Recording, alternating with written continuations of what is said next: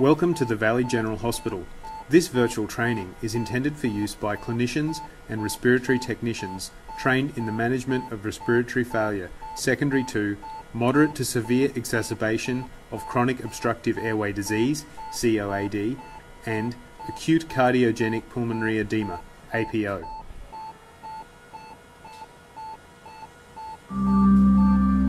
Is designed to complement the actual direct equipment in service training and maintenance of skill and knowledge of the NIV machine patient interface. This is an emergency resuscitation room. You are alone with a first year nursing graduate who is in the medication room to your far right. Your patient has IV access.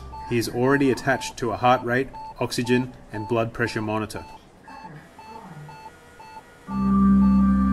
His vitals are on the monitor. Can you identify them? Have a look above you. Good work. His medical records are at the foot of the bed. Can you locate them? Good. On top of the red trolley is the non invasive ventilator machine. Look behind the machine and ensure it is connected to the oxygen supply from the wall. Excellent. An arterial blood gas report has been collected. Can you take a look? Good.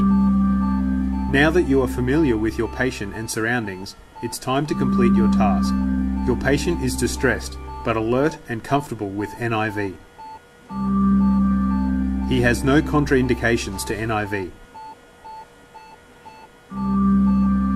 The single lumen tubing is already attached to the ventilator.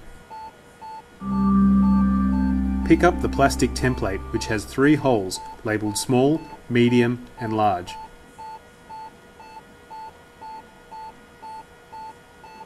Good. and place it over the patient's face. Good. Pick up the mask which best covers the patient's nasal bridge and chin Good. Place it on his lap. Excellent. Now turn on the ventilator. The power button is located on the bottom left of the panel. Good.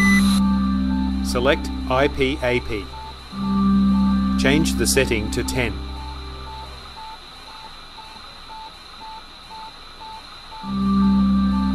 Select EPAP.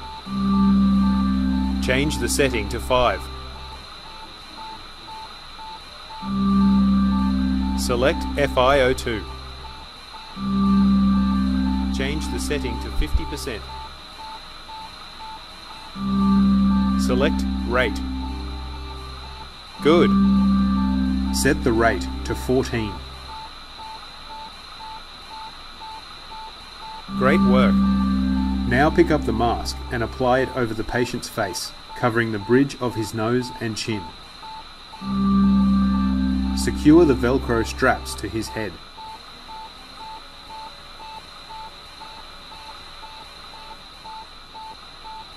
Excellent. Now monitor the patient's vitals. Observe the patient. He is comfortable and happy. Remember to repeat the blood gas and ISTAT in 30 minutes. Also, obtain a chest x-ray. Congratulations. You have set the non invasive ventilator in a typical setting for bi level positive pressure ventilation. Thanks for visiting the Valley General Hospital.